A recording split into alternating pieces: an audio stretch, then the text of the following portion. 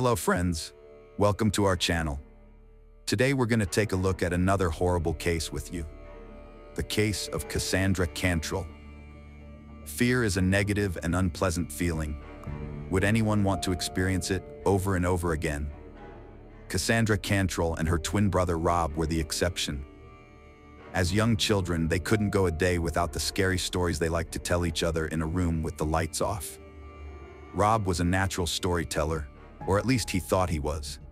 Cassandra would scream at every story he told, and he, playing the brave though small man, would sprawl on his bed. They also watched the animated series Scooby-Doo together, and while watching it, they argued over which of the characters in the story would turn out to be a ghost or a vampire in disguise. Cassandra's intuitive guesses were often ahead of her brother, and then he was nervous. Their mother, Mary Smith, although she did not share the same passion as the twins, bought them books by Robert Wall to instill a love of reading in her children. A love for scary stories was not just a childhood hobby, but a lifelong passion that the brother and sister shared.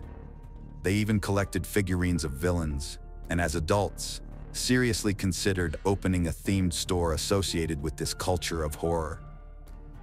An interest in horror movies brought Cassandra to the set in 2004, where she got a cameo in a scary movie that, although it didn't become popular, still caused a storm of envy in Rob, and he started asking his sister to make a deal for him.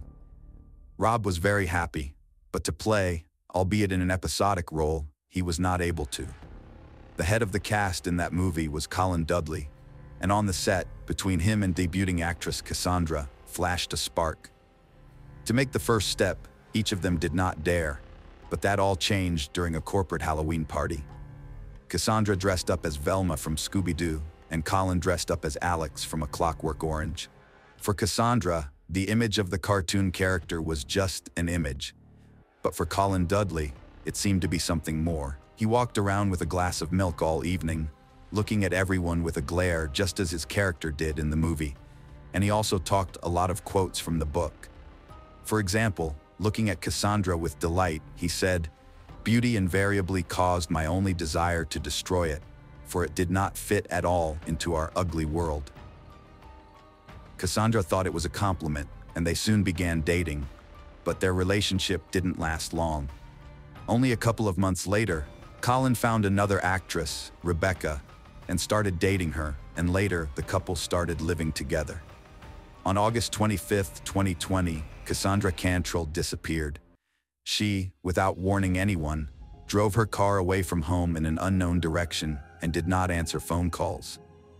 The police officers were very reluctant to take a report from her mother for a very long time, trying to calm the poor woman down and saying that sometimes children grow up and don't always warn their parents when they go out with friends. But Mary Smith was sure that something terrible had happened. And maybe if the lazy cops would finally start working, she would still have a chance to see her daughter alive. The search for Cassandra did not begin until two days later, and on the third day, the police found her car under a bridge, not in the most favorable area. Also, to add to the bad news, the car was unlocked and the keys were inside. It was impossible to understand what Cassandra was doing here. This place was considered a neighborhood of homeless people where, with frequent frequency, the police found their bodies killed in a domestic fight or died of an overdose of illegal drugs. The officers had to go around the neighborhood questioning a lot of homeless people who, at the sight of the police, tried to get away for a while but it was all to no avail.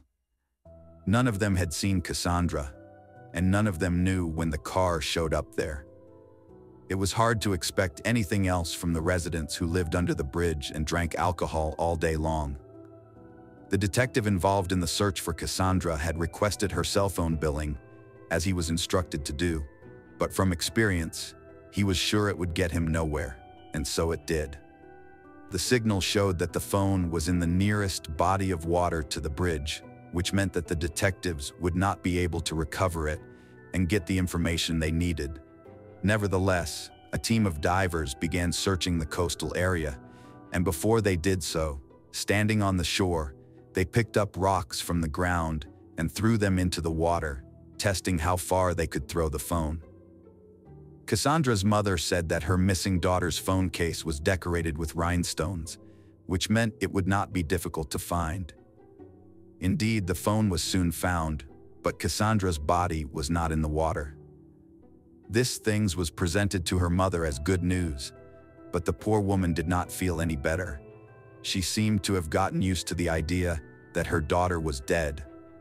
And the only thing she wanted was for her body to be found and for this nightmare of uncertainty to end. Cassandra, as it seemed to her mother, despite her already realized age, was not married and did not even meet anyone. It was understandable that she had gotten pregnant by a man, but Mary had no information about the father of the child. Although, again from the words of her mother, her daughter very often corresponded with someone and called, but the phone number of her interlocutor, for some reason, was not recorded in the daughter's book, and the mother, of course, did not remember the numbers. She just noticed that it is quite strange to communicate so often with a person and not write down his number. Cassandra could not keep their relationships in absolute secrecy, and there should be at least one friend with whom Cassandra shared her secrets, and especially if those secrets were related to pregnancy. Such a friend was found, and in a conversation with police officers, she revealed that Cassandra had rekindled her relationship with her former boyfriend, Colin Dudley. Yes, their past relationship in 2004 was short-lived, and besides, it's been 15 years since their breakup. It is strange in general that after so much time, they remembered each other. As it turned out, Colin himself came out to Cassandra, with whom he once worked on a movie set in 2014.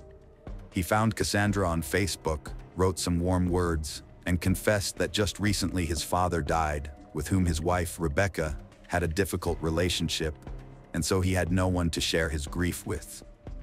Cassandra, purely because of friendly motives, decided to meet and talk to the ex-boyfriend to calm him down. But the friendly meeting turned into something more. Since 2014, Colin began to live literally on two families, where Cassandra was in the status of mistress when the young woman found out that she was pregnant, she did not want to inform Colin Dudley because every time she wanted to admit it to him, she recalled their conversation where Colin said that he absolutely did not want children and that he was very happy about Rebecca being infertile. The news that he might have a daughter or son could destroy a real family, and Cassandra didn't want to hurt her lover, so she kept the news a secret. Meanwhile, her belly was growing, and it was impossible to hide it under the oversized sweaters. And in order for Colin not to guess anything, Cassandra stopped seeing him. But she couldn't hide it for long, and if she lied about having another boyfriend, it would hurt Colin and cause them to break up. Cassandra decided that the bitter truth was better than a sweet lie, so she told Colin over the phone that she was expecting a child with him. Colin was silent for a while, and then he finally said that he was delighted to hear the news. It sounded very strange, but Cassandra concluded that Colin was genuinely pleased. The detective arrived at Colin's house, knocked on the door, and his wife opened it. Deciding that it wasn't quite ethical to talk about a missing mistress in the presence of Colin's legal wife, the detective introduced himself as an old friend of Dudley's. Colin came out immediately, shut the door behind him, and walked away from the house with the detective, though the latter hadn't even introduced himself yet. It was as if he had been waiting for this meeting. Thank you for not making your credentials public in front of Rebecca. You're a man of honor, a true officer. My compliments to you, Colin spoke in short sentences. I heard Cassandra is missing. It's weird, bloody weird. I can't even guess where. She might have gone, she told me she'd had a big fight with her brother and was really worried about it. I advised her to stop by and make up with him. I don't know if she listened to me or not. That Cassandra and Rob had been in a fight, the detective knew. Rob had told him about it himself. It was nothing serious, just a family misunderstanding. But nevertheless, Cassandra's twin brother had been very upset about it because the day she disappeared, Cassandra had called him and wanted to come and talk to him, but his proud brother had refused, and now he blamed himself for it. If his sister had come to see him that day, she wouldn't have disappeared. You know, officer, I'm not the nicest person. I think you realize that. Dating my ex-girlfriend in secret from my wife and for such a long period of time. I'm sure I'll be punished for it in the next world, but the human heart doesn't decide who you fall in love with. In 2014, my father died. He literally hated Rebecca with all his soul, and the feeling was mutual, but he really liked Cassandra. He often remembered her, reproached me for the fact that we broke up with her almost immediately after Christmas. We often fight with our parents, accusing them of not understanding, and then it turns out that it's us, their children, who don't understand, and it hurts. My father was right, of course, and after he died I just wanted to fulfill one of his wishes, and so I resumed my relationship with Cassandra. Rebecca needed to be broken up with. It was a conversation I kept putting off, you know. This family stuff sucks you dry, so I kept stalling. I've been living a double life for five years. It was hell, I had to make excuses for coming home late all the time to hide it. I'd tell her about some fictitious business trips and even bought a fishing rod, even though I hated fishing, a stupid pastime. And I'd tell Rebecca I was going to the lake while I went to Cassandra's before coming home. I'd buy fish at the supermarket for extra convincing, and Rebecca would bake it in the oven, and I'd eat it, even though the smell of fish makes me sick.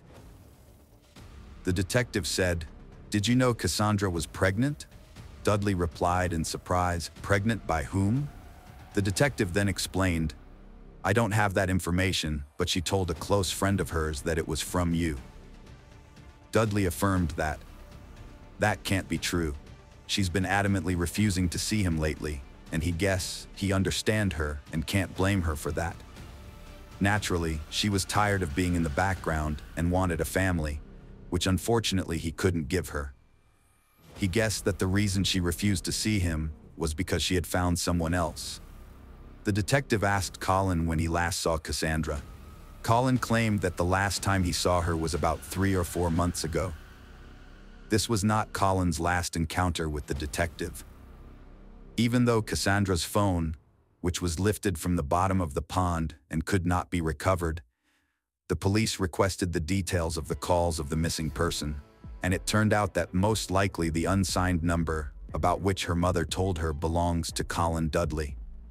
Most often, Cassandra called him, and even on the day of her disappearance, they called each other.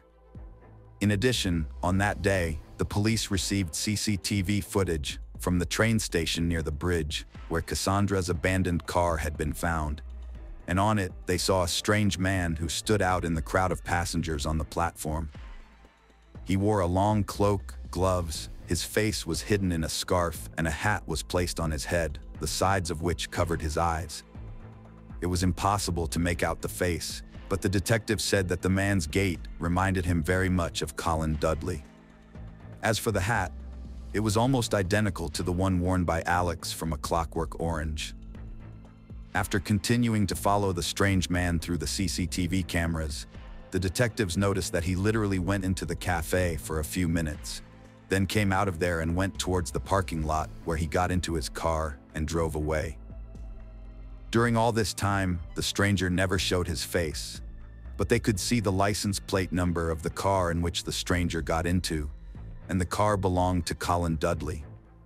A unit was sent to his house with a search warrant, the detectives had initially believed that Cassandra was alive and in the basement of Dudley's house. At first, there was no evidence of a murder at Colin's house. However, in the closet, they found the very hat that Colin was trying to cover himself with. They then went down to the basement, but Cassandra was not there, nor was there any evidence of the crime. However, the service dog, trained to search by the scent of blood, barked as it sniffed the couch which was already a very alarming sign. Colin assured the police that he had done nothing illegal and that they simply had no evidence and no other suspects, so they were trying to pin the crime on him, an innocent man. The detective interviewed his wife, who was shocked at what was going on in their home, the accusations against her husband, and the fact that she had been deceived for years. When the detective asked her if her husband was capable of murder, She answered in the negative after thinking about it for a long time. The evidence found against Colin was not enough to put him in jail, which made Rob and Mary Smith very angry. The detective was just throwing up his hands. Colin was called in for questioning again, and he thought carefully about the crime, as he had an alibi for all the allegations on the morning of August 25th at 6.30 a.m. Colin visited a hardware store where he purchased household cleaning chemicals and trash bags, and the store's cameras confirmed this. However, the large trash bags overshadowed this situation. Colin then received a text message from Cassandra that she was almost at his house, but he immediately deleted the message. But it remained in the cell phone carrier's memory, and the police got it from the call and message dump. Also, according to their cell phone billing, the couple did not leave the house that morning for several hours. Colin then turned off his phone but left his mistress's phone on, most likely by accident, and the police saw the entire path of his movements, including where he was seen on the station's CCTV cameras. As the police already knew, after the cafe where he was probably recovering from the murder by washing up in the toilet, Colin got into his car and drove to the pond where he had dumped Cassandra's phone, where the last signal from the cell phone had been received. It was now necessary to search for Cassandra's body, and the police, in order to accurately track the route, seized a GPS tracker from Colin's car. The device completely replicated the movement of Cassandra's cell phone signal, but there was new evidence in the case based on his movements. The next day, the cops retraced his path that went through the woods, and there, in a ravine, they spotted a huge trash can tied with ropes. All the ground around it was covered in blood, and it became clear what was in the container. By then, it had been a month since the murder, and identifying the body was difficult. The police were helped by Cassandra's tattoo, which was described in the search notes. Colin was apprehended the same day and charged with murder. Forensics conducted a forensic examination and indicated that death was caused by a fractured skull due to blunt force trauma. During the examination of the basement of the Dudley house, the police found traces of blood that could not be completely cleaned. Rebecca knew nothing about the murder as she spent all day in another part of the house from which no noise in the basement could be heard. She also confirmed that Colin never wanted children and his story about her infertility was just a fiction, which the police took as a motive for the crime. During the trial, due to the lack of witnesses and physical evidence, such as the murder weapon, it was impossible to convince the jury that the murder was committed by Colin Dudley. Then the court made a deal with the killer that if he pleaded guilty, he would get a lesser sentence. Colin was sentenced to 26 years in prison Cassandra's mother and her brother, who still felt guilty that he had not agreed to meet with his sister before her death, were very upset because the killer would most likely live to see the moment when he could go free. Lisa Maria Kaiser was born in 1994 in a large family where her eight siblings also grew up. It was a large, but far from prosperous family. Parents were busy with their own problems, and did not show love and care towards their children. Moreover, there were rumors that abuse and violence were rampant in the family. The story in question unfolded in the year 2020, at the very time when the whole world was consumed with the fight against COVID-19. In one corner of Ecuador, quietly and unnoticed, truly terrible events were unfolding. Here, in the small parish of Pifo, on the northeastern outskirts of Quito, the protagonist of this tragic story was born and raised. Lisa Maria Kaiser, a woman with an enigmatic gaze, whose life story became a true Ecuadorian nightmare. On that unfortunate Tuesday, October 27, 2020, Lisa sent several messages to the father of her children, David. They were words full of despair, because their paths with David at that time had already almost parted. In these lines, she confessed her love for him and her unexpected new pregnancy. However, in subsequent messages, Lisa wrote that life was losing its meaning for her, and the decision to terminate the pregnancy was inevitable. Throughout the night, Lisa pleaded with David to come to her, but his refusal was resolute. His parents also urged him to stay home, and David took their advice. In the early morning hours of October 28th, neighbors in Lissa's home heard a faint cry for help. Looking out the window, they found a woman lying on the floor with signs of vomiting. The neighbors rushed to help her, immediately calling emergency services. The doctors and police arrived and found Lissa in a critical condition, but still alive. After administering first aid, she was immediately hospitalized. However, in the house, her children, a girl of five and a boy of nine, were found unconscious. The doctors were unable to help them. Their little hearts had stopped beating at that point. Authorities learned the identity of the children's father and contacted David Acosta, who upon learning of the tragedy, immediately arrived on the scene accompanied by his father. He was informed that Lissa was in the hospital and his children were found without signs of life. After several days of fighting for life in the hospital, Lissa finally regained consciousness. By that time, the investigators, guided by their findings, had presented the prosecutor's office with sufficiently convincing arguments to issue an arrest warrant for this mysterious woman. When she was released from the hospital, she was immediately transferred to a social rehabilitation center.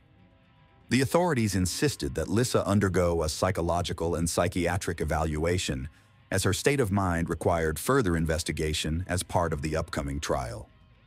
Lissa ended up in a rehabilitation center, and doctors and psychologists took up their work.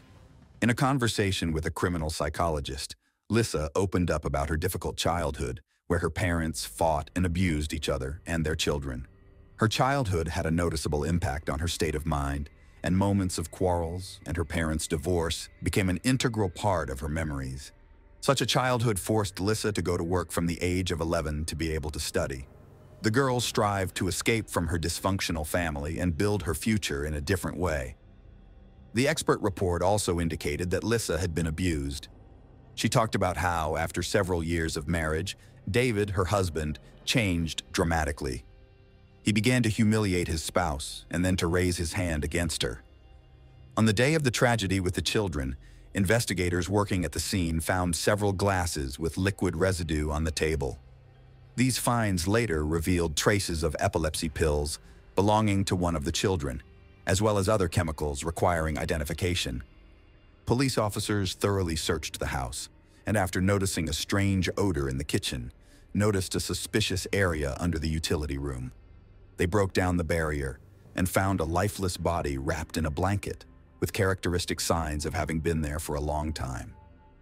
Later, further investigation revealed that the discovered body belonged to Jaime Yanchaguano, a 28-year-old who had been in contact with Lisa. Jaime had been reported missing by his family days before the gruesome discovery. According to Rosa Yanchaguano, Jaime's sister, he was last seen on October 18th, Rosa told investigators that after her brother disappeared, Lisa called several times inquiring about him. Lisa claimed to have received a text message from Jaime, where he mentioned that illegal substance traffickers were holding him captive and demanding a ransom of $8,000. She strongly warned Jaime's family not to contact the police. This claim became a crucial point in a complex investigation, as detectives sought to solve the tragedy and uncover if there were any other hidden victims. During her interrogation, Lisa revealed that in 2020, while working at a cookie factory, she met Jaime Yanchaguano. According to her, they became friends. Lisa wanted to return to her husband, who allegedly planned to blackmail Jaime for money. David made it clear to Lisa that if she did not help him, he would divorce her. Later, David gave Lisa a white powder and told her to put it in Jaime's food. Once she did, Jaime fell asleep and never woke up. Realizing what had happened, Lisa, in desperation, tried to win back her husband but failed. In her despair, she ingested the same poison and gave it to her children. However, the poison did not have the expected effect on her, and she sought help from her neighbors to save herself from the horror that had befallen her children. Following her testimony, investigators launched a thorough investigation but no evidence of David's involvement was found. No one close to the couple could have foreseen that Lisa Maria and David Acosta's lives would take such a tragic turn. When they met, Lisa was only 16 years old and still in high school. a dreamy and romantic girl, while David was a strong and determined young man. Their friendship quickly developed into strong feelings, leading to Lisa's unexpected pregnancy. Although their families disapproved of their relationship, David's parents supported their son and welcomed Lisa into their home. In difficult times, David's family provided genuine support to the young couple, even inviting Lisa to live with them to ensure she completed high school. When Lisa turned 18, the couple got married. Two years later, they were expecting their second child, a daughter. David's parents decided to provide the young couple with their own home, giving them an apartment where they found a corner of family happiness. However, over time, their relationship began to deteriorate. Both spouses were unfaithful, leading to mistrust and disappointment their once boundless love began to weaken. Lisa also complained of psychological abuse from David, prompting her to seek help from the police. Eventually, she was granted a protective order, forcing David to leave the family home. At this point, Lisa began to blackmail David, demanding money for the chance to see their children.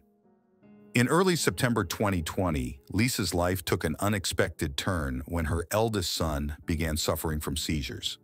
In desperation, she took him to the emergency room at Baca Ortiz Hospital. After stabilizing his condition, doctors conducted tests and diagnosed a focal form of epilepsy, a severe condition affecting a specific part of the brain. Doctors advised Lisa to undergo further tests, including MRIs, and to consult specialists urgently. However, Lisa ignored these recommendations. A month later, her son suffered another seizure and they returned to the emergency room. Reviewing his medical history, doctors discovered Lisa had not followed their earlier advice, failed to complete tests, and had not seen specialists, leaving her son without necessary treatment. They warned her that continued neglect could lead to legal consequences. Despite the warnings, Lisa disregarded the medical advice. A few weeks later, after her son's condition resurfaced, she called David, who was alarmed by her serious tone. She informed him that a social worker would visit to discuss their son's diagnosis and treatment. On the day of the appointment, David arrived, but the social worker had already left. To brighten the waiting time, Lisa offered him a drink. However, as David drank the drink, he suddenly felt unwell. His condition was worsening, and the social worker had not shown up. So David decided to go home to get something to deal with his discomfort. The next morning, David woke up in a terrible state. He could barely speak because his tongue was numb. Every step caused discomfort, and his eyes hurt.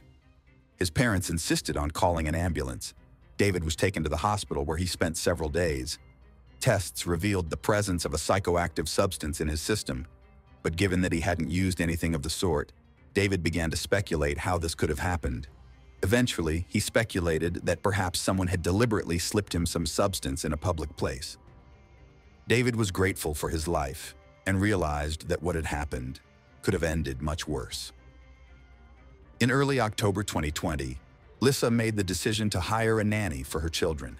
Her cousin Patricia recommended her friend Bertha, a responsible 48-year-old woman looking for work. On Monday, October 5th, Bertha arrived at the young mother's house.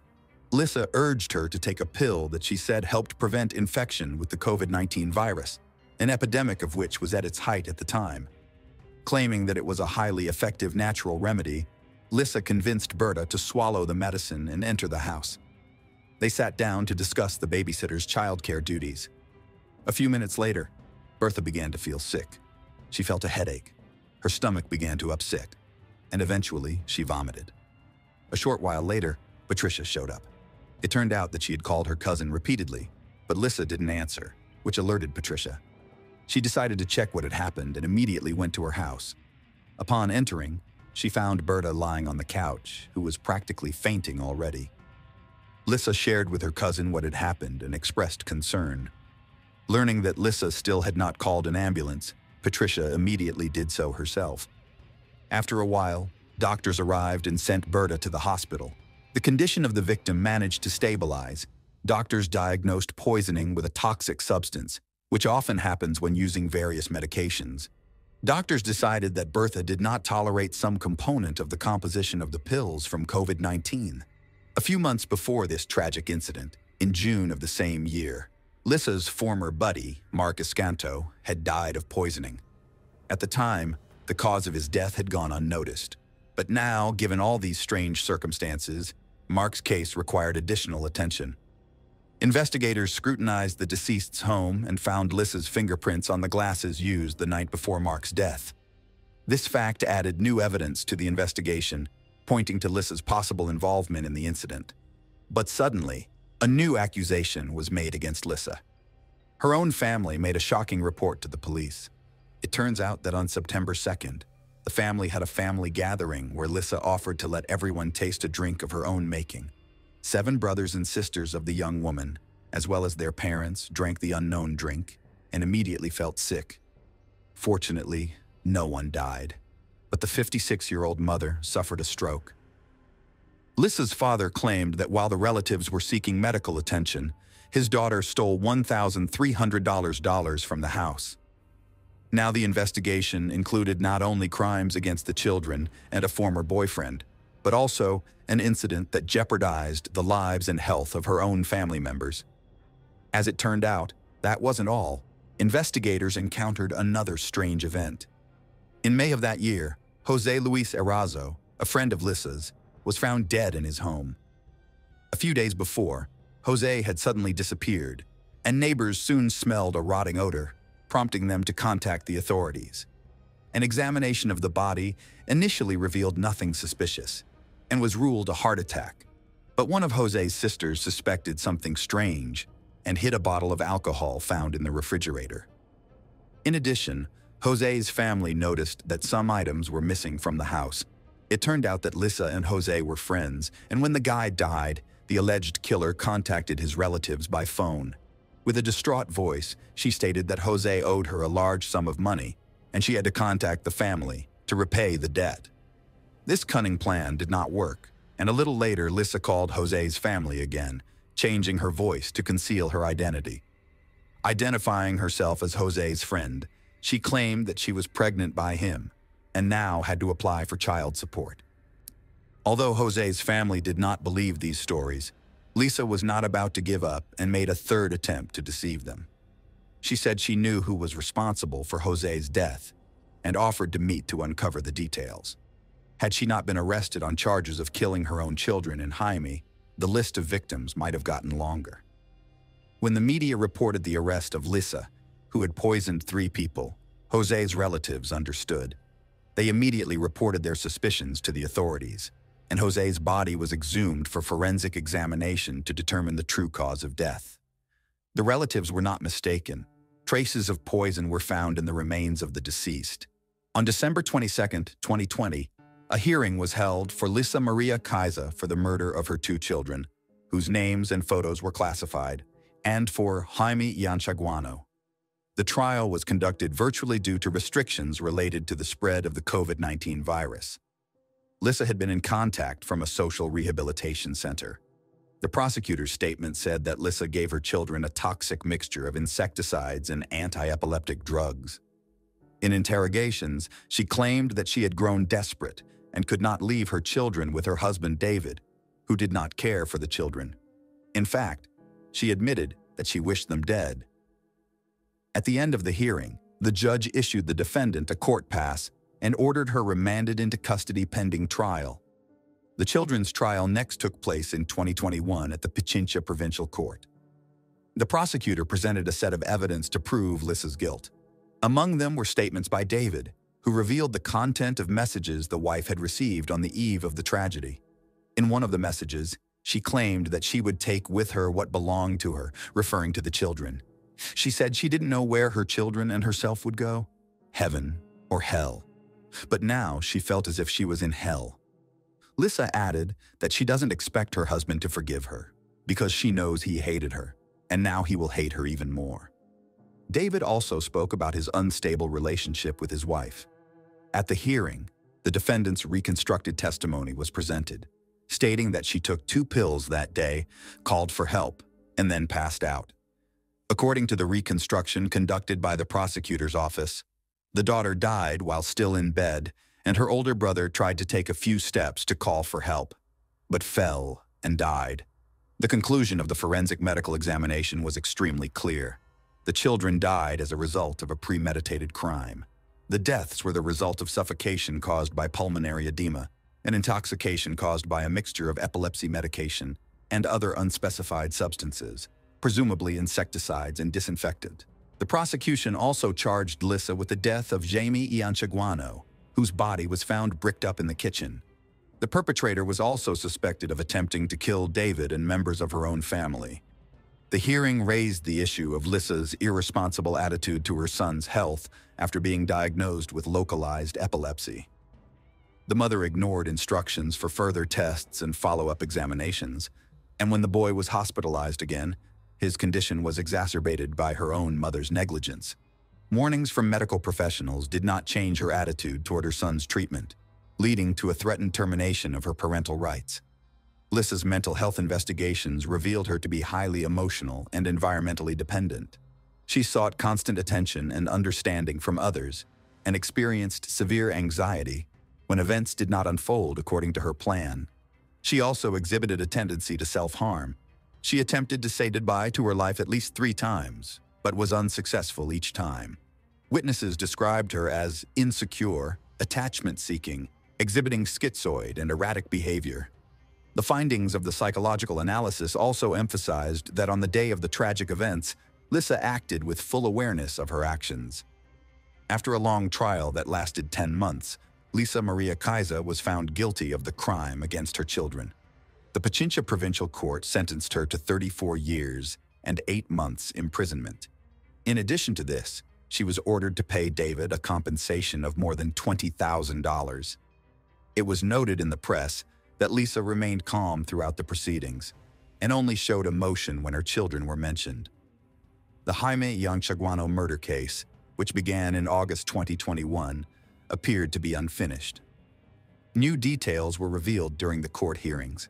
Lissa admitted giving her friend a white substance mixed with alcohol, but claimed she got it from David. However, the investigation proved otherwise. According to a psychiatrist who interviewed Lissa, she did not want to take Jaime's life. She wanted to intimidate his family so she could then extort money. She did demand $8,000 as ransom. Experts called the plan disorganized, which ultimately led to the crime. In addition, forensic tests revealed that it wasn't that simple. Jaime was found to have poison in his system and the cause of death was strangulation. The body was found with a shattered ribcage and wire around the neck. Lissa claimed that after her friend died, she decided to bury him under a back room and cement him in. The store owner's testimony confirmed that Lissa bought building materials during the days of Jaime's disappearance. After the parties' arguments, the prosecutor's office requested a new trial in April 2022. At that trial, an additional charge of extortion was filed. Lissa called Jaime's relatives, claiming he was being held by a group of gangsters, and demanded $8,000 for his release. The defense relied on the lack of conclusive evidence that Lissa was involved in Jaime's murder. Nevertheless, she was found guilty and received a 22-year prison sentence, as well as a sentence to pay $5,000 to the victim's mother. While Jaime's trial was underway, the investigation of Mark Escanto and Jose Luis Erazo, Lissa's alleged victims, was nearing completion. Mark Escanto was 48 years old, and tests conducted after his death revealed traces of the same substance that Lissa had given to her children. In addition, Mark was found to have severe inflammation of the stomach. The family's lawyer claimed that Lissa met Mark, offered him a beer, and then put the poison in the drink. A glass with Lissa and Mark's fingerprints, as well as a swab containing the woman's DNA, was provided to authorities. Alleged motives for the murder included jealousy and money. It is also known that Lissa had asked Mark to help her financially and there is evidence that he loaned her at least $120. Mark was Lissa's first known victim. The final outcome of this case, as well as that of Jose Luis Erazo, remain unknown. They may not have been reported in the press, or the investigation may not yet have reached the stage of being formally charged and brought to trial. At the time of her brutal crimes, Lisa Maria was only 26 years old. Her high-profile criminal case has become one of the most horrific and disturbing in Ecuador's recent history. These crimes made her known throughout the country as Doña Venado. Lisa Maria Kaisi is recognized as a serial killer in Ecuador. Her victims have endured terrible suffering, and their relatives have suffered unbearable pain.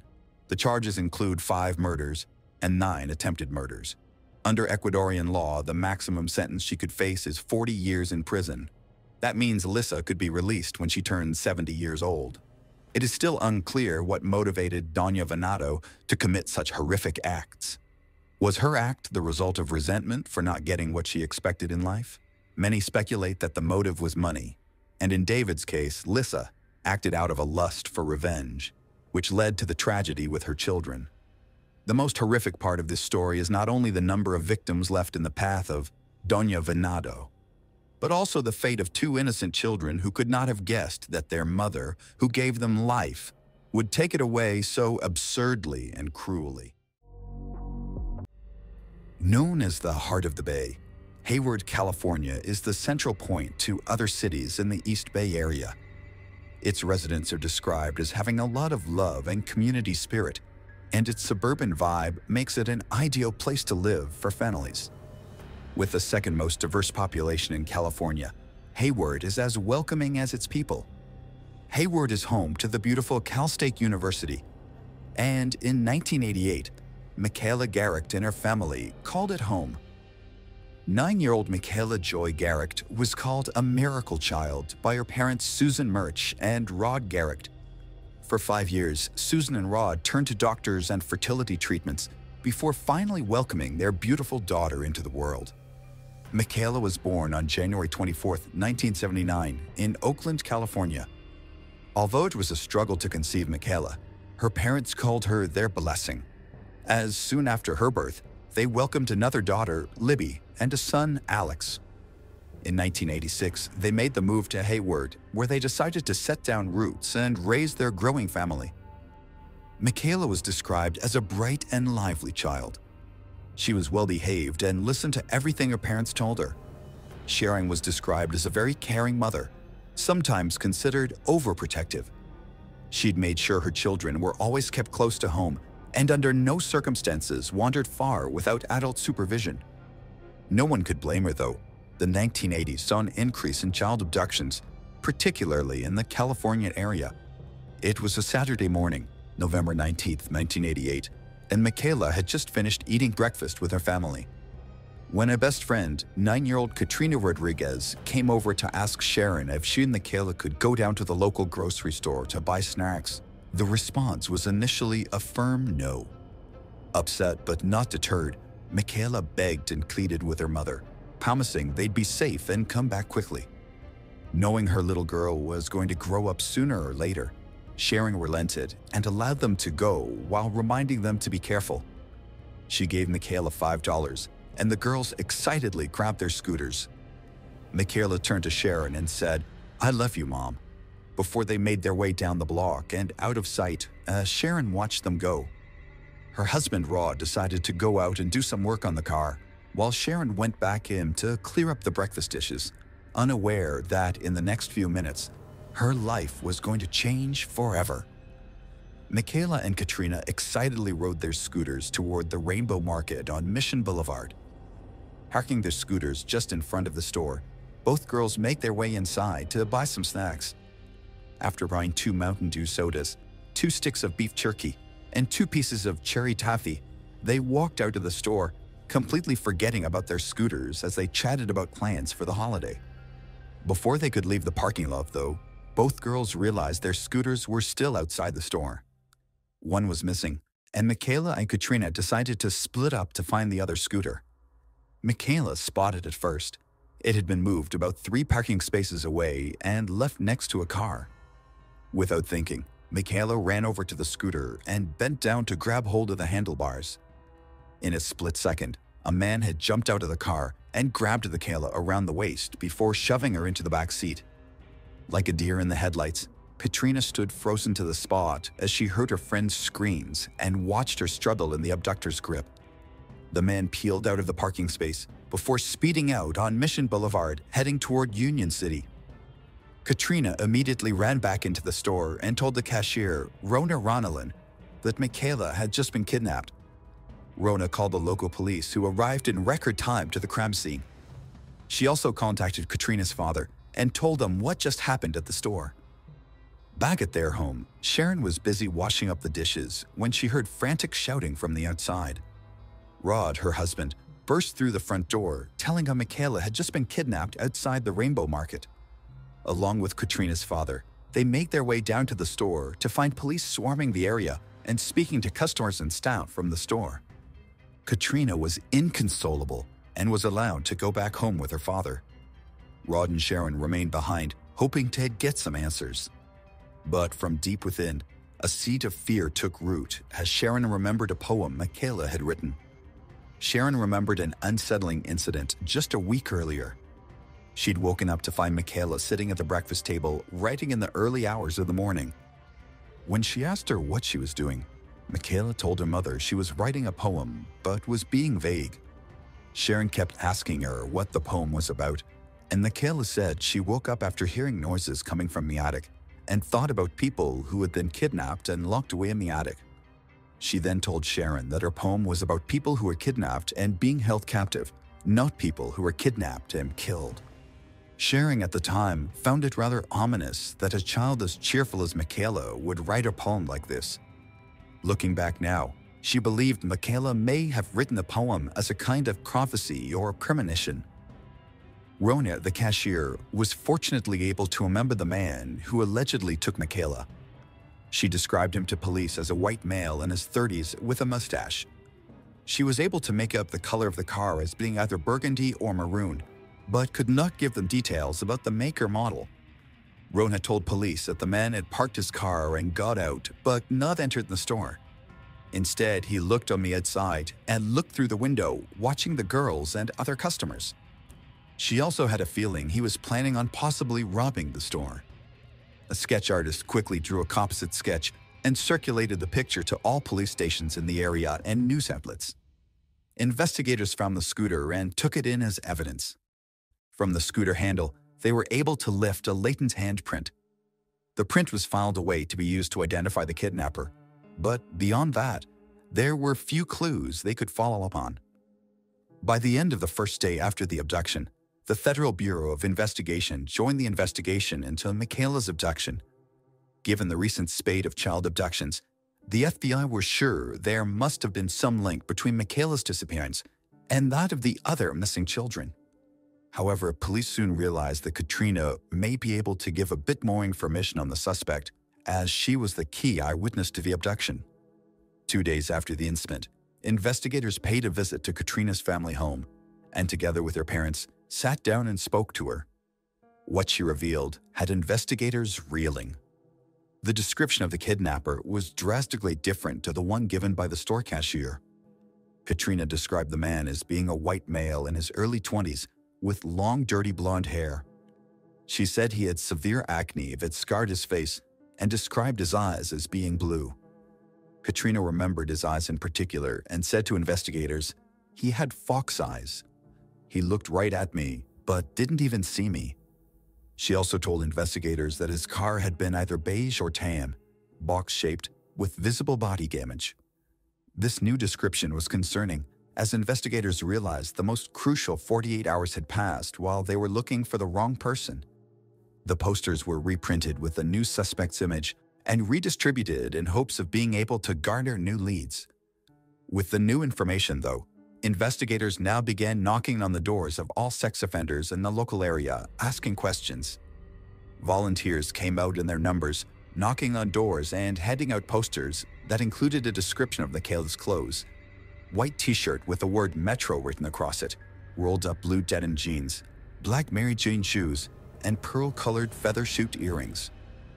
When no one reported any signs of Michaela anywhere in the nearby suburbs, police extended the search to include McGarren National Park and Niles Canyon that were just minutes from the Garecht family home. The search began following a tip from three hikers who allegedly saw footprints in the forested area belonging to one adult and one child. After they'd followed the tracks, they found a blanket and empty fast food containers. The psychological profile also pointed out that the kidnapper was likely to take Michaela to an isolated area. Helicopters were fitted with infrared thermal cameras to pick up any signs of a heat signature within the dense wooded areas. Police officers searched on horseback and foot. All these efforts yielded no results. Michaela had vanished along with her kidnapper into thin air. Michaela's disappearance reached the national news. Her story was featured on Unsolved Mysteries and was one of the first child abductions to feature on America's Most Wanted. Her face was printed on milk cartons, and the Missing Children's Program printed over 50 million mail-in cards to homes around the country with pictures of Michaela, a description of her clothes, and a composite sketch of the kidnappers. San Francisco 49ers quarterback Joe Montana came out in support of the Garecht family and made an appeal to the public to come forward with any information. A reward fund of $70,000 was posted during this time for any information regarding Michaela's whereabouts. Within the first year of her disappearance, police had received over 5,000 tips, most of which turned out to be rumors. But no one was ready to give up. Sharon herself followed leads, some stretching as far as Russia, but nothing yielded any results. It would take another four years before investigators received a new tip that they believed could be real. In that time, over 15,000 tips were received, and police were clutching at each one, hoping it could shed light on the missing girl's case. Between 1991 and 1992, an inmate in Indiana came forward with information regarding Michaela's disappearance. Roger Haggard, who was serving an 11-year sentence for a burglary charge, alleged that he helped a friend bury her body in a gladiolus field in Union City. However, investigators were not initially interested, believing it could have been a wild goose chase. When Haggard realized the investigators were not taking his claims seriously, he instead turned to the media. He wrote a letter in 1992 to the San Francisco Chronicle claiming to know who kidnapped Michaela and where she'd been buried. He promised to lead investigators to her body the media attention and public outcry forced investigators to fly Haggard to California in order to testify in front of a grand jury. Under oath, Haggard repeated the claims he'd been making to investigators. Haggard promised to lead investigators not only to Michaela's remains, but to the home of the alleged killer. The next day, Haggard, along with a team of investigators, searched the field that he claimed Michaela's body had been buried in. In a shocking twist, after eight hours of intense searching, Haggard allegedly told police that he'd made a false claim after all.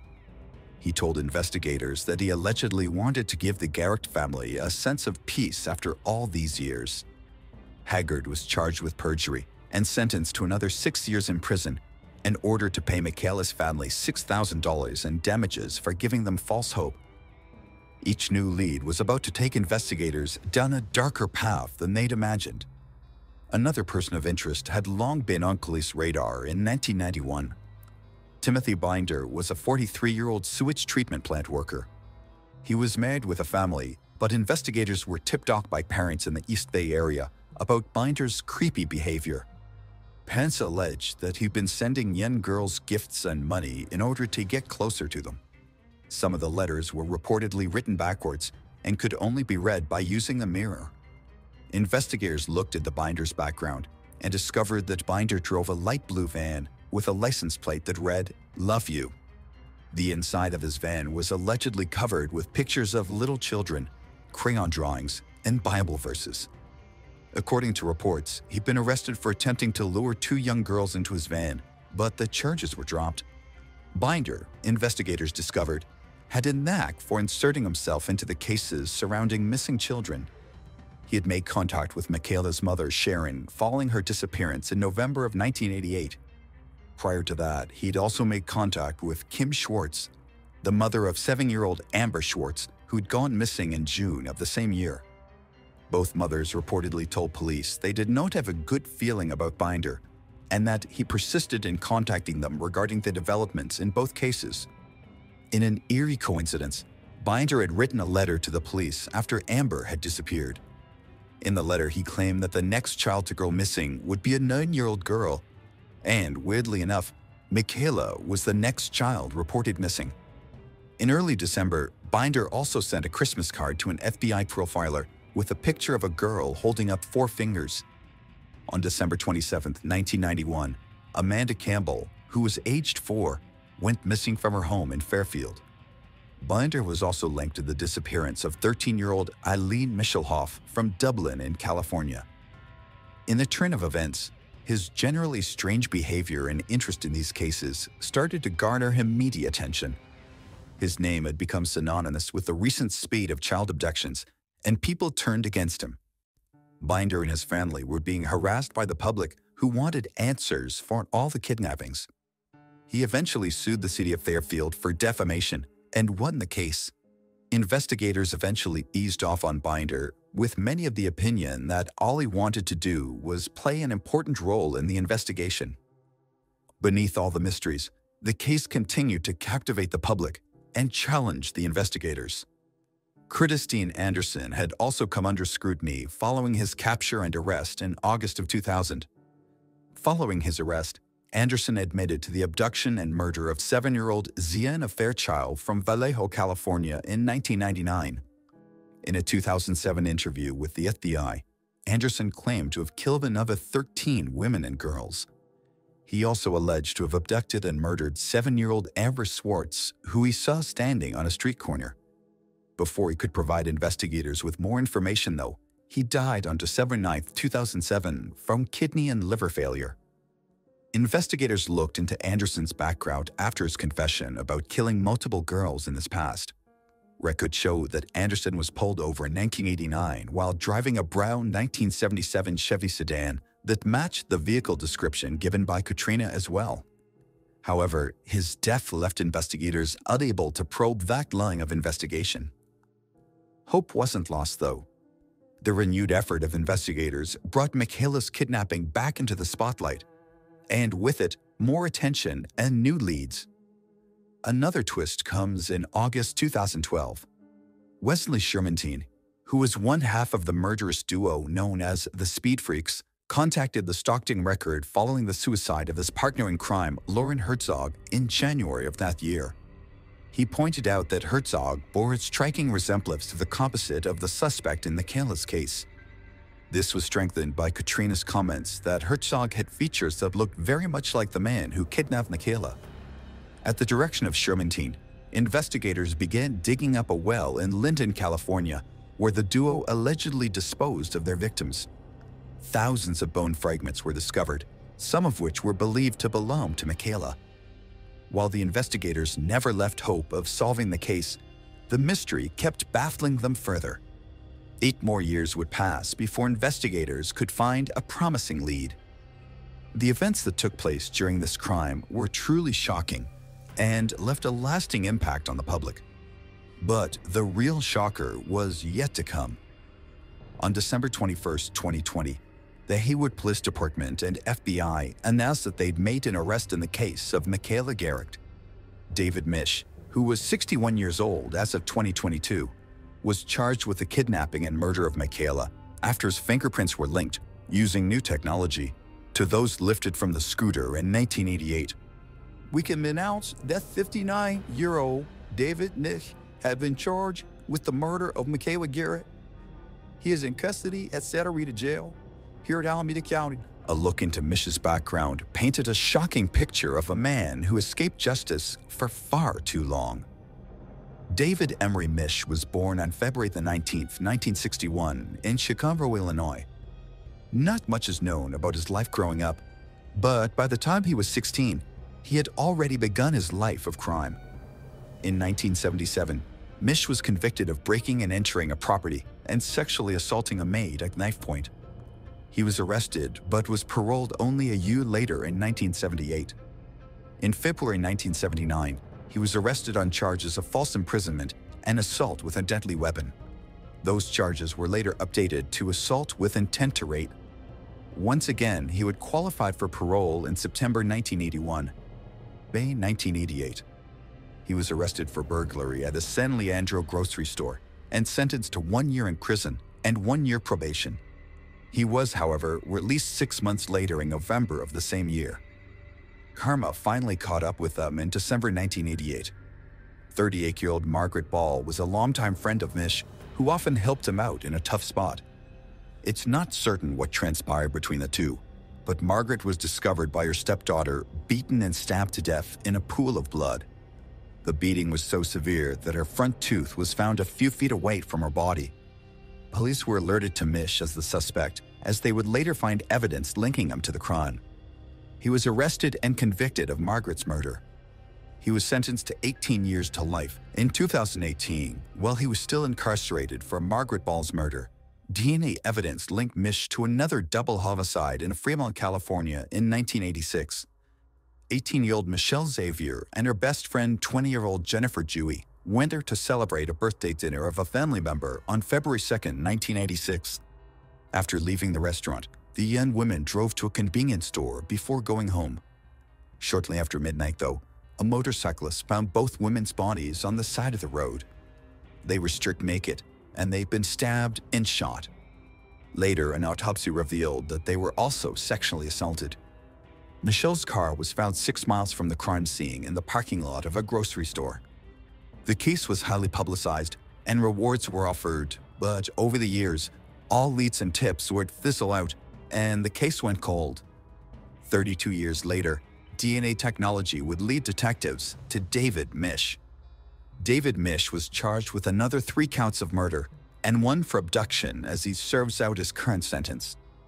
Alameda District Attorney Nancy O'Malley said that Misch had been charged with murder and two special circumstances.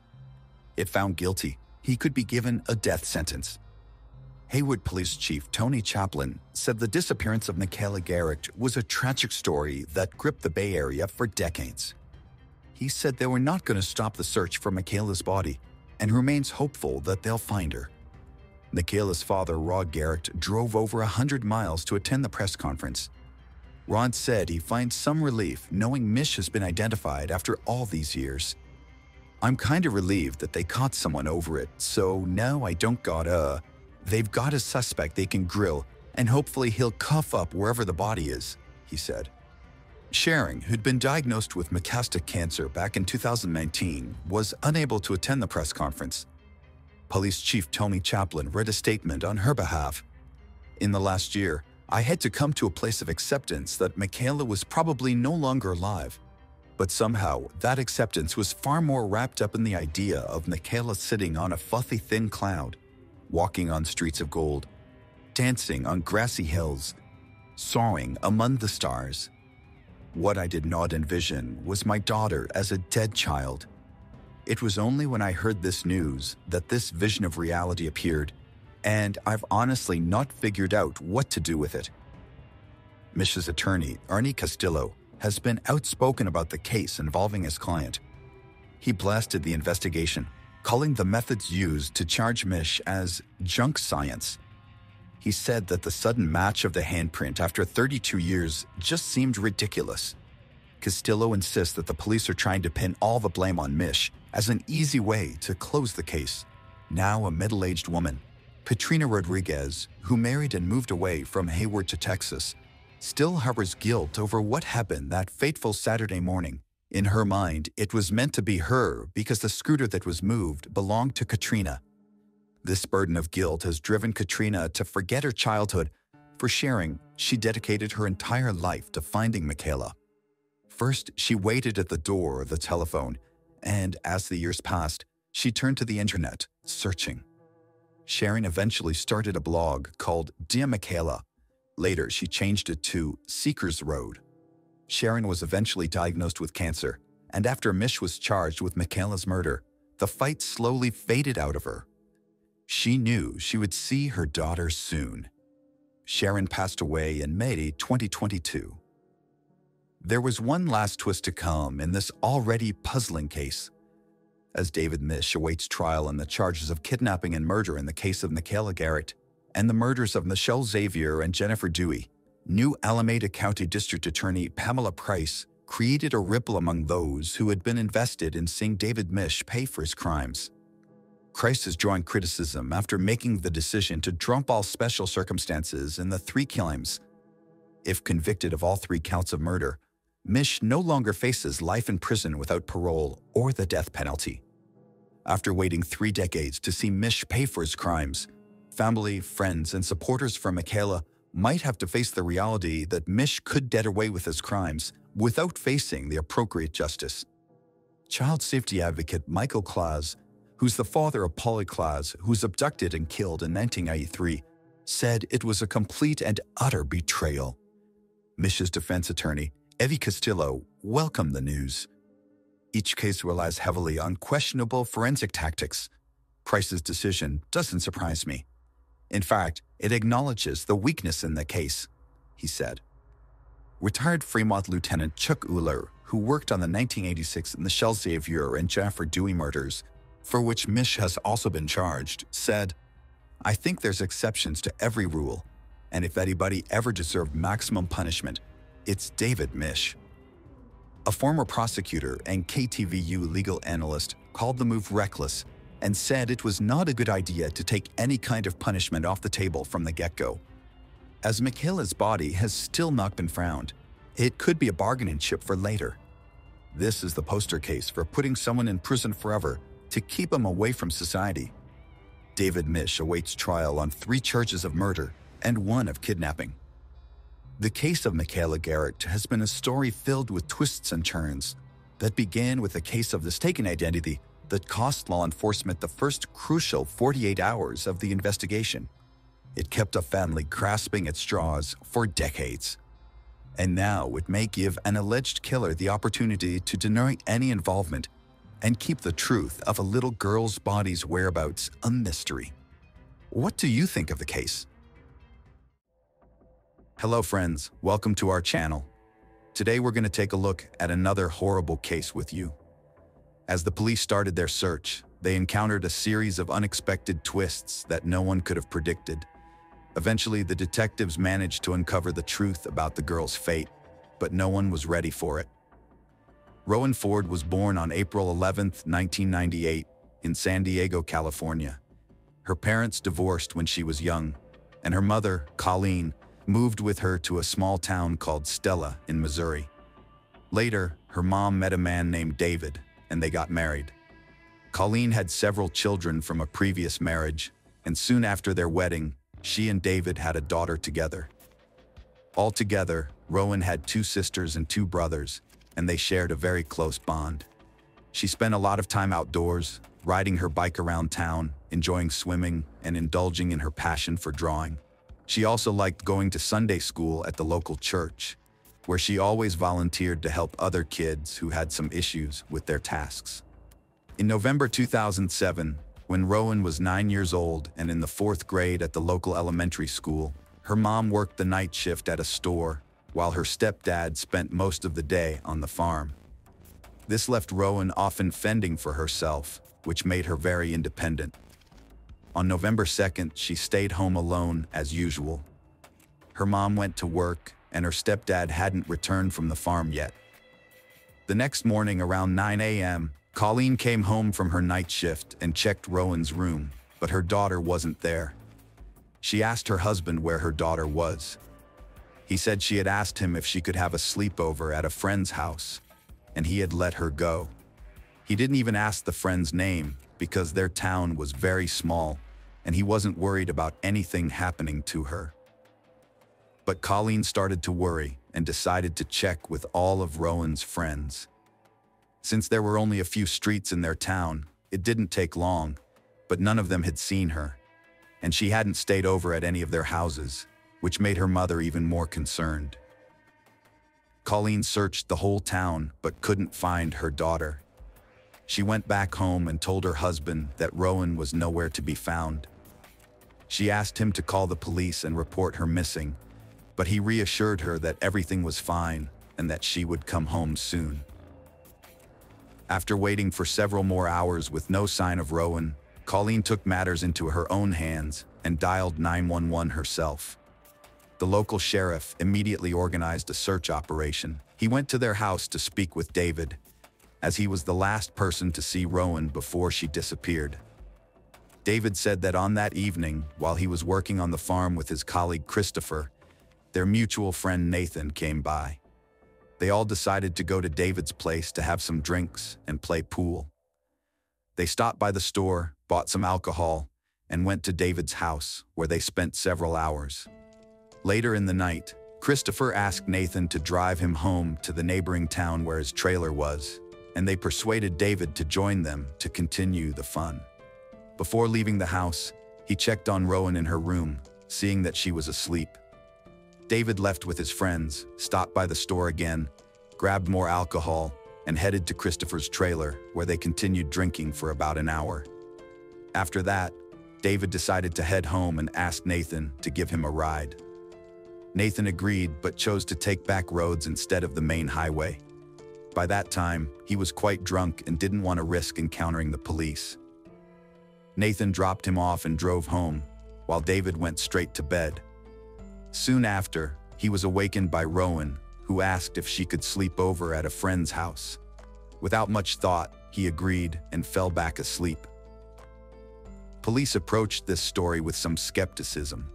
What puzzled them most was the fact that a nine-year-old girl decided to go to her friend's house in the middle of the night, and her stepfather let her go without even asking which friend she was talking about. The sheriff considered that David might be hiding something or directly involved in Rowan's disappearance, but he had no evidence to support this theory. Police searched the town and its surroundings until late at night. Local residents immediately joined the search, as they all knew Rowan's family and wanted to help. The population of Stella was only about 150 people, so news of her disappearance spread throughout the county almost instantly. People were used to being able to let their children play outside without a worry, as nothing ever happened in such a quiet place. But now, Rowan had vanished without a trace, and the police were unable to find her. For a whole day, the residents of Stella were in a state of panic. The first day of the search yielded no results, on November 4th, the police went to the neighboring town to speak with Christopher, who fully corroborated David's story. However, Christopher added that his friend hadn't even contacted him since that evening, and he had only just found out about Rowan's disappearance on the same day. The police expanded the search and involved even more volunteers, but they still couldn't find Rowan or any clues to her whereabouts. The next morning, the FBI joined the investigation while the local police continued to search for Rowan throughout the town and its surroundings. Detectives focused on exploring the possibility of abduction. They strongly doubted the stepfather's story, as it seemed highly questionable. Police also checked with all of Rowan's friends and confirmed that she hadn't visited any of them that night. Investigators continued to speak with David, and he changed certain details in his story several times, further raising suspicions against him. For instance, he gave conflicting timelines for his absence from home that night, and even said that perhaps Rowan hadn't asked him for permission to go to her friend's house and just left without his knowledge. FBI agents also discovered that on the night of her disappearance, David had asked his mother to borrow her car, a fact he had initially not disclosed to the police. As a result, they decided to seize both this car and his own pickup truck for examination, but experts were unable to uncover any evidence. Meanwhile, detectives decided to speak with Christopher and Nathan again, as they were both with David that evening. Police invited Christopher to the station. He repeated the same story as the day before.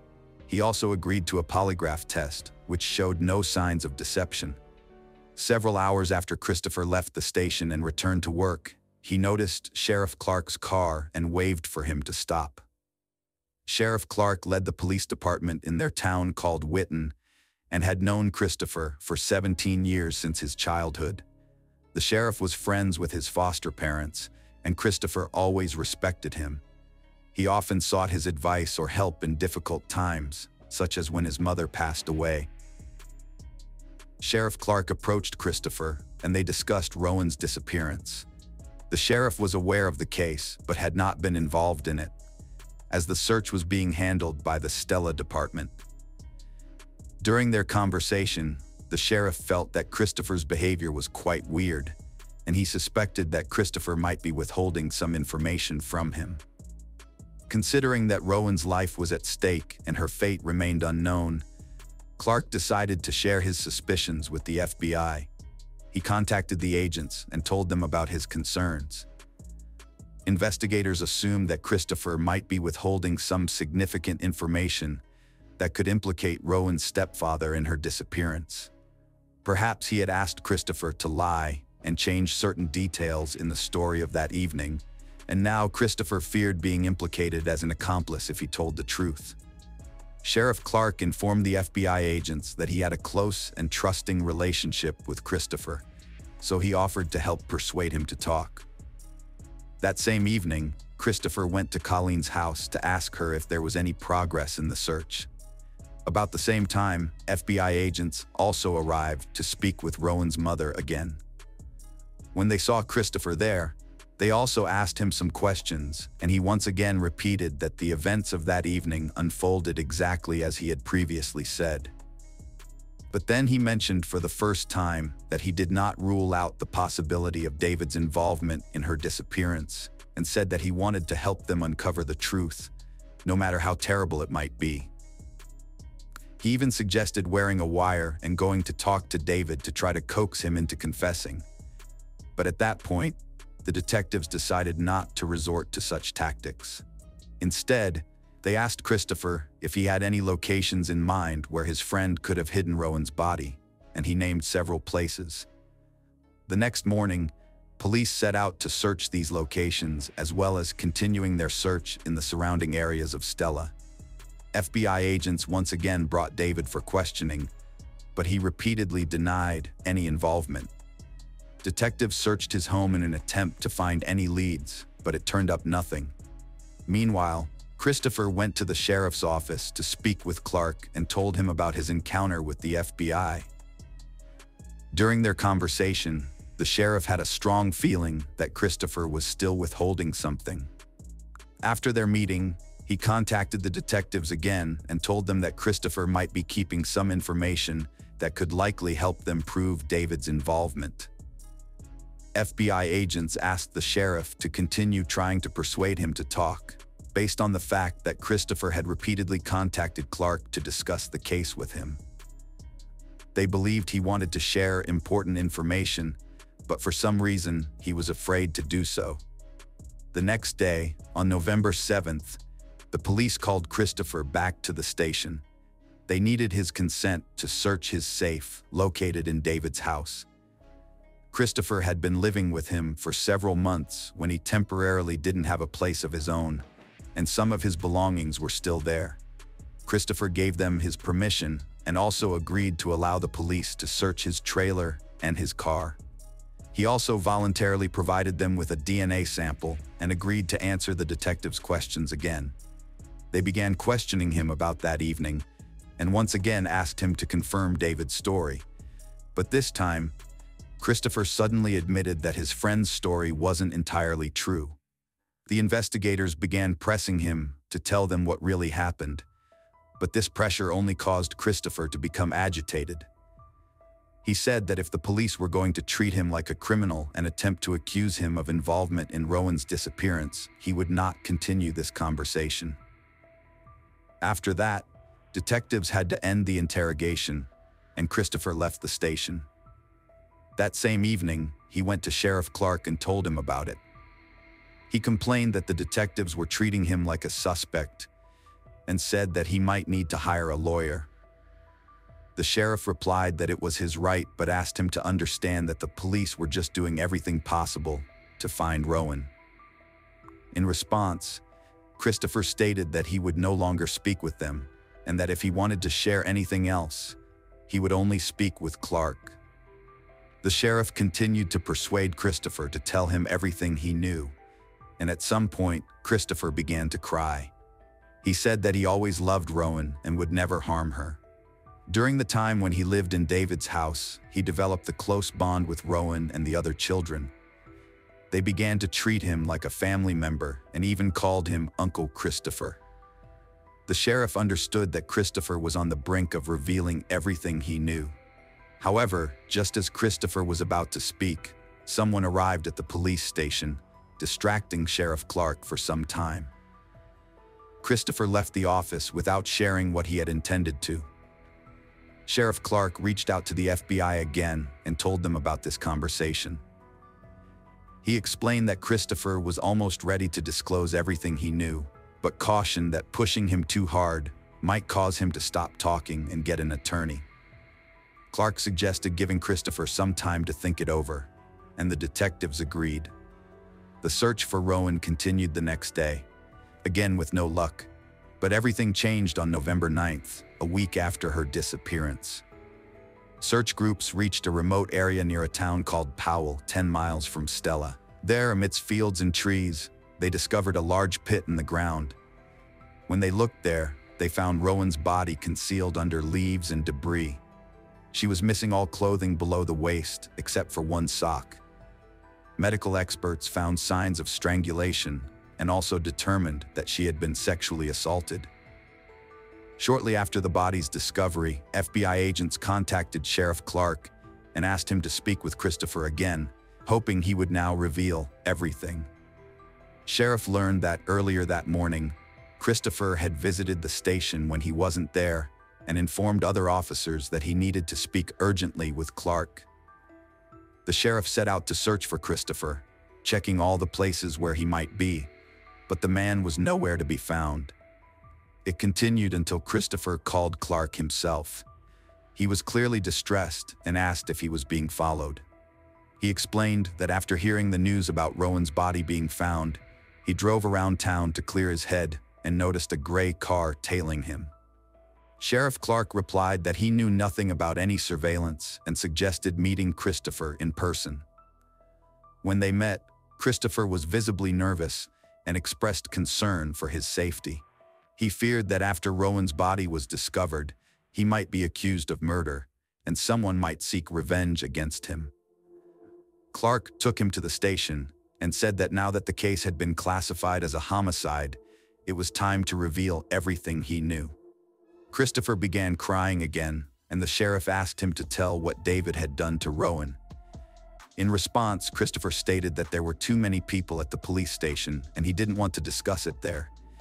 He suggested going to a quieter place and mentioned a small bridge located a few miles from their town.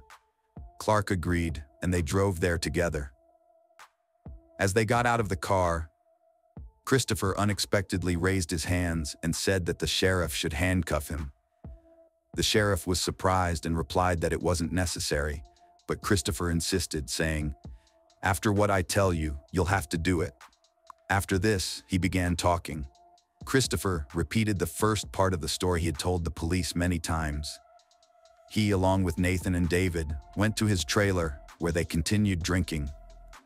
Sometime later, his friends decided to head home, and David asked Nathan for a ride. They said they would take back roads to avoid the police and left. But then Christopher started telling something that shocked the sheriff to the core. He claimed that he wanted to sexually assault Rowan and quickly came up with a plan. Knowing his friends would take quite some time on the road through the fields, he got into his car and drove straight to David's house, taking the main highway. He entered Rowan's room, picked her up, and carried her to his car, doing it all so that she wouldn't wake up. After that, he took her to his trailer where he assaulted her. According to him, she only woke up at that moment and tried to resist, but she couldn't break free. Christopher didn't turn on the lights or speak to her because he didn't want Rowan to recognize him. After the crime, he planned to take her back home and leave, but things didn't go as planned. When he carried Rowan out of the trailer, the moon was shining brightly and she saw his face. Christopher panicked, grabbed a rope, and strangled her. When she passed away, he loaded her body into the car and started thinking about what to do next. At first, he wanted to dump her from the bridge, the same one where he stood with Sheriff Clark, but Christopher realized that her body would be found too quickly. So, he got behind the wheel and began driving around the county, considering other options. Soon, he remembered the large pit near the neighboring town and headed there. He dumped the body into the pit and tried to cover it with branches, but the pit was too large, so everything fell down. When he returned to the trailer, he found traces of Rowan's blood on his clothes and mattress.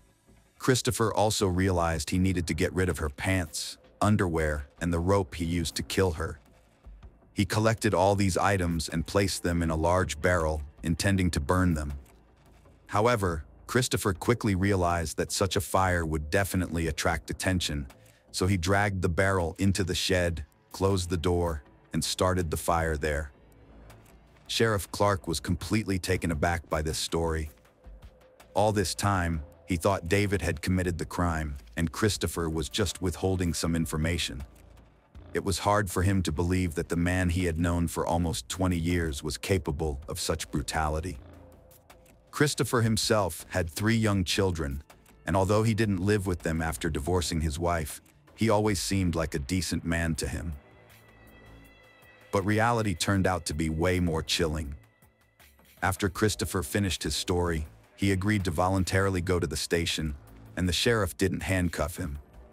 Only after they arrived and the man repeated his confession to the FBI agents, he was arrested on charges of murder. Christopher also signed a voluntary consent to search his trailer and car.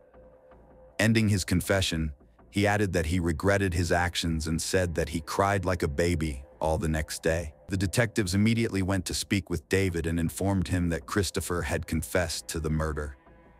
Considering David's strange behavior and inconsistent statements, they suspected that he might have been covering for his friend. However, they were met with an even more shocking twist. When David was brought in for questioning, he suddenly changed his version of events. According to him, the night he returned home and found Rowan missing from her room, he realized that Christopher might have taken her. So, he took his mother's car and drove to his trailer.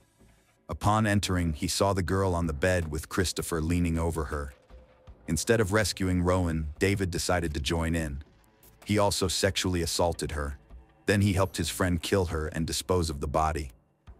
David added that during the ordeal, his brain simply shut off, and he remembered nothing about the night for several days.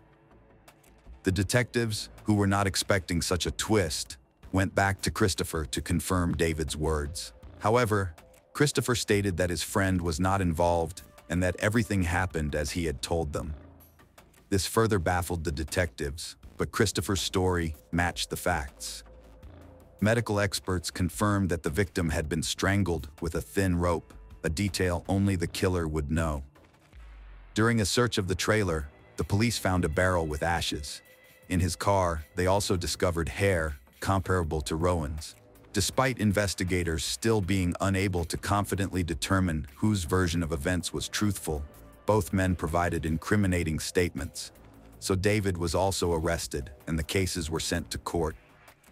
During the trial, Christopher filed a motion to exclude all his statements from the case materials, claiming he was unaware they could be used against him and that the police violated his rights. But the judge denied this motion since all his conversations with investigators were entirely voluntary. Christopher also attempted to plead mitigating circumstances, pointing out his difficult childhood. From an early age, he was constantly shuffled between biological and foster parents, which greatly impacted him. Christopher also invited an expert who claimed he had signs of developmental issues, but none of this helped him avoid punishment. In 2012, Five years after the murder, he was sentenced to death. He tried to appeal this sentence, but to no avail. As for David, the situation was much more complicated. He admitted to assaulting and killing Rowan, but there was one serious problem. His version contradicted Christopher's statements. If the prosecution decided to charge David with murder, it could potentially lead to Christopher's sentence being overturned, and David might also avoid responsibility. Considering there was no solid evidence against David, such as DNA, the prosecution could not take such a risk. In fact, they still weren't sure if he was involved at all. The prosecution did not rule out the possibility that David might have indeed committed the crime together with Christopher, but there was no evidence to support this theory. In the end, a difficult decision was made. To avoid the risk of Christopher's sentence being overturned, they reduced David's charges to much lighter ones. He pleaded guilty to two charges, child endangerment and obstruction of justice. He was sentenced to 11 years in prison with a minimum of five years to be served behind bars. This sentence was met with outrage. If David was indeed involved in the murder, his punishment was deemed incomparable to the severity of the crime. However, there's nothing that can be done about it now, and it's unlikely that he will ever be tried again for this case. As for Christopher, he remains in prison awaiting execution. Considering that decades often pass between sentencing and execution, there are no guarantees that the death penalty will ever be carried out. It's quite possible that he will simply spend the rest of his life in prison.